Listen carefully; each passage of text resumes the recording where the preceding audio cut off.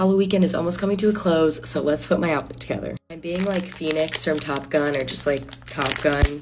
I don't know. I ordered these patches on Amazon and then I got this like one piece also from Amazon. Comes with four. I don't think I'm gonna use all of them though.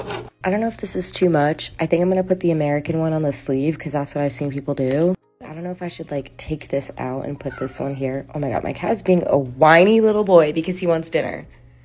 Yes, disregard.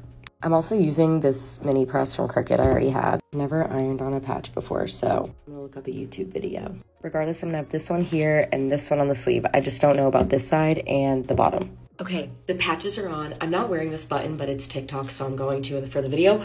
But this is it. I'm gonna go shower and get ready, and then I'll have the full outfit. Like, obviously, I forgot to update this. Duh. This is what I looked like, though. I just wore my Converse, and I had these dog tags, and I put sunglasses on. And that was my makeup and everything. Overall success, I would say. The patches did start to come off, but like, whatever, what can you do?